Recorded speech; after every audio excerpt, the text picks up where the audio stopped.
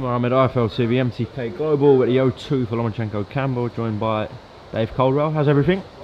I'm all right, mate. I'm all right. Not bad. Not bad. It's not been not been a great great night professionally wise. I've uh, I managed Atif Shafiq, um, so he got beat.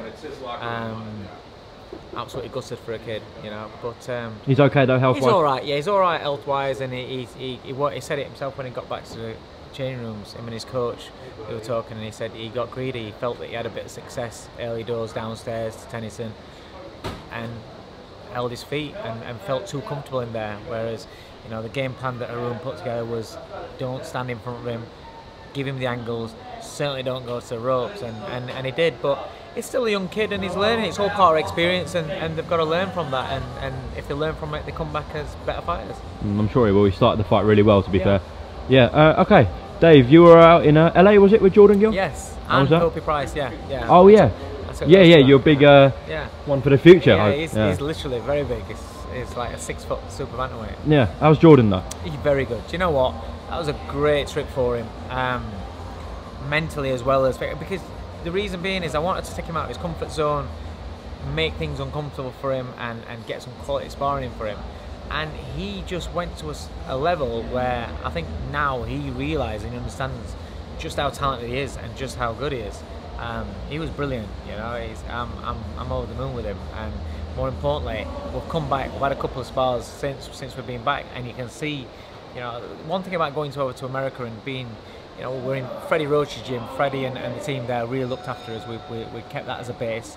We also spent um, two or three days at Manny Robles' gym, Legends Gym. Mm. He was a diamond as well. Um, some great, great sparring, and it just seems to have, you know, it, it gives fighters um, mentally more, more confidence, and it just gives them more at ease about themselves once they go over there, spar with quality, quality fighters, you know, and come back. They, they just come back a different man, and, and that's certainly the case with Jordan. Okay.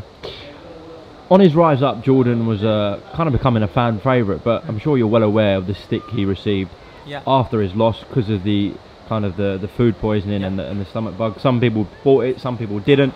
How's he been after that? Has he been okay? You No, for the first for the first couple of weeks, then yeah, it was it was it was it was down. Obviously, I mean, any if, if I was to say, oh no, it's fine, you're just lying. But um, Oh, he was, he was down. Any fight that gets beat is down. You know, no matter what they say on the outside, mate, this is their life. You know, they, regardless of what people want to say on Twitter and, and other social media platforms, they give everything to this sport. Mm. So they make a decision. They, he felt that, that I've explained this before, but he felt that he couldn't pull out because of the stick that on Twitter and social media that Josh Kelly got when he pulled out on the day against uh, Avanesyan. So he felt that he couldn't do it. People calling him a coward and this, that, and he said, I, I didn't want that. And the fighter believes, a fighter will always want to fight, you know, and when the fighter's in the ring and the fight, and sometimes you need the corner to pull them out because they're getting too much of a beating, the fighter still wants to fight. The fighter's done all the work, he's trained, he's sold his tickets, he's spent X amount of weeks in camp, dieting, things like that, he's done all that lot. He still believes that it can get in there and just get through it, feel my way through it. I still because that's that's that's why they're different to me and you, because they have that belief, they have that in them where they think they can still go in there and do that. Now, had he told myself or even his mum, his dad, or whatever, or his you know his his his, his missus, if he'd have told anybody, we'd have been alerted to the situation. We'd have said, pull, pull. You know, it's not worth it. Don't, you know, don't do it. Don't be stupid. Think about it long term. Mm. But fighters don't think that. They think about right now. You know, you've got a fighter in here. Just, just imagine, you've got a fighter in here who doesn't feel well right now. He's about to go out and, and, and box live on TV. What's the chances that he's going to turn around even after what happened with Jordan? What's the chances that he's going to turn around and still say, "I'll oh, pull me out"? Fighters don't do that, mm. and that's what you have got to understand. So yes, it was stupid, and yes, it was. He got a dressing down from the board. He got a dressing down from me.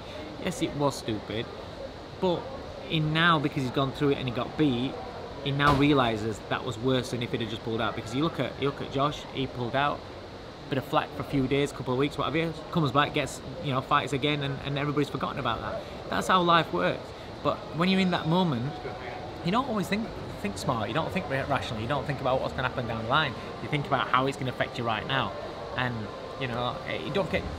Jordan's not a groomed matchroom fighter. he had his opportunity, he took his opportunity, and now then he's worrying, thinking, well, I've only had a couple of shows. If I pull out now, they're going to bin me off. That's how that's how kids think because there's always somebody ready to take your place. So you have to you have to understand that you know the kids are human. So he made a mistake. He, he, he just took some flack from it, like you said. Some people believe it, some people don't. But you know it, that's that's it, regardless of that, it's how he comes back from that. You know, and he, that's boxing. Okay, moving on to one of your other fighters, a small matter of Dereck Chisora. Um, we're hearing this deal with Joseph Parker is practically done. Close, are we? It's- it's- I don't see a contract because I'm not his manager, but as far as I'm concerned, what I've been told, it's basically done. So, Well, yeah. Great news. Yeah, yeah, it is. It's uh, it's a good fight, isn't it? It's Very good fight. So it'll be it'll be an exciting fight. It'll be explosive. Um, yeah, it's, Parker's a good fighter, mate. It's another. It's a hard fight for Dereck. It's a hard fight for him. But you know what? He's. It's, it's not a southpaw. um, so He's alright with them though, isn't he, Dereck? Uh, yeah. Considering what happened last time. um, so yeah, it, it, it's going to be. It's, he's going to give it absolutely everything, and um, he knows that if he wins that fight. Wow, that puts him in a strong position in this heavyweight mix. So trust me, Dereck's going to Dereck's going to go in there to blast Parker out. You know, there's not there's not going to be any two ways about this. This will, however, however long that fight lasts, this fight will be it'll be exciting. And it's gonna, you know, it's an exciting fight for Dereck to get his teeth into. Mm. I think after the Gashi fight, I think Parker would have been a, strong favourite in that fight. But the, the performance Dereck put out last time against Szpilka, um, yeah, very close fight now going into it on I paper. would, I would still, I would still. Parker's say- probably the yeah, I favourite still with the bookies, etc. Parker's a favourite. Yeah, I would still say that Parker's a favourite, but I'm, I'm, I'm quite happy for that with Dereck. Yeah, I'm quite happy with that, and the fact that that Dereck's got something to fight for, and people gonna, a lot of people are gonna think that he's gonna get beat. Dereck, I think, I think Dereck performs better like that. Um, and I think it gives him, especially at this stage of his career, it gives him that drive, that motivation. Mm. You know, this is it now, Dereck. You've, you know, you've got to go out there and you've, you've got to perform in front of the O2 again. You love this venue. You've got to go out there and perform, give it your all, and, and, and you've got to beat Parker. You beat Parker, and the world's your oyster. Well, the amount of and he heavyweights knows that. Matchroom have got as well. Yeah, yeah, but, but I think I think at this stage, to be honest, I think if Dereck beats Parker, then then he'll want a world title shot. He's not got many fights left in him. He's not got many camps left in him. You know, how many times can you can just because somebody is tough, strong, and, and, and a warrior? How many times, when, as they start getting older and they've taken a lot of punishment, how many times can they keep doing this? Is that Yeah. realistic though? Because obviously we've got Joshua Ruiz rematch coming up. If, if Ruiz gets them belts, Right. I, I'm sure Al Haymon will try and make that undisputed fight. That could be a problem. If Joshua gets his belt, belts back, he's got the Pulev mandatory, etc. Yeah. Tyson's doing his thing Yeah. with ESPN and going to have that Wilder rematch. So where's that shot But you don't, you just you just don't know, do you? You don't. You, the the thing is with the heavyweight division and with these belts and stuff like, you don't actually know what's going to happen because what happens if uh, um, so let's just say Ruiz keeps the belts. Mhm. What happens if Fury beats Wilder? It's a very interesting question. I'm Okay, not so- sure whether so- that fight so- will happen though. So if Ruiz wins but the if belt, it, but if, yeah, if, no, it, yeah. if, Fury fights Wilder Mm. and Fury wins, then that's Wilder equation for the next fight, right? Ruiz, will I don't know how long you can keep hold of these belts before these mandatories start getting put or they get vacated. What happens if then they get vacated and then there's what there's a fight that's got to be made? If you just beating Parker, then surely that gives you a chance of getting into that slot. Absolutely. Or even if if the Ruiz Wilder fight is not there, Ruiz is looking around for an opponent as a champion. Why not Dereck? Mm-hmm. But if AJ if AJ wins, then AJ might not be able to keep hold of the belts, and then one calls vacant. You, you just don't know. And then, like I said, Der- Dereck's in a listen. If he beat Parker, is in a strong position no matter what. Is in a strong position, and that's that's all you can ask for, and that's all you can hope for. He'll be in a lot stronger position than what he's in right now. Um, and if AJ goes and blasts him, uh, blasts Ruiz out, then then you don't know what can happen then. All right. Just lastly, before we close off, how's Anthony? Fowler. Yeah, it's your boy. Yeah, yeah, yeah, it's, yeah, it's good. It's, Yeah, it's good. good yeah, win out uh, last time out against Yeah, Rose. it was good. He, he had a lot of pressure on him for that, and um, I thought he boxed really well. He, he was he was very disciplined. Um, I was happy. I was happy with him. So he, he did well there because listen, you can say all you want.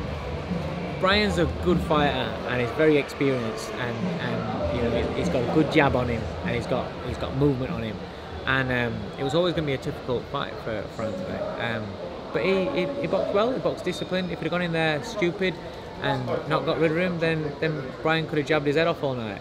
Um, but he didn't. He, was smart and he got the job done. Um, and we move on. He's got to. He's, listen, he's still got to improve.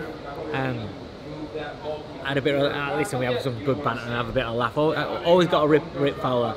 And I was saying, you know, how um, before the Rose fight, he'd gone really quiet on social media. Good, well done, mate. Well done. But then He's beat by Rose. I said to him in the gym last week, he came out of the gym, I says, fucking hell, you can tell that you want to fight. Back on social media oh, no, again. Every tweet I see yeah, on my timeline. You know I mean? So it's, as, as long as as long as he's uh, he, he, remembers himself and he's, he's all right. He's, he's I think he's learned his lessons. Um, he's just got to keep on improving uh, in the gym um, and, and just becoming a better fighter because there's a lot more tougher tests out there. You know, Okay, Dave Coldwell, thank you very much for your time at the O2. You're not working tonight? No. Okay. No, just, I'm, here as a fan. I'm, I'm, here as a fan, that's it. Get it out I'm in designer gear. I'm, I'm, here, no, I'm here as a fan, that's it. I'm, I think nice. we all are, Phil, yeah, aren't we? It's, it's nice to, to get to come to a show just as a fan and just just eh, sit back, enjoy, no pressure, and, and that's it. Cheers, mate. Pleasure as always. Thank you. Thank you. Cheers, Dave.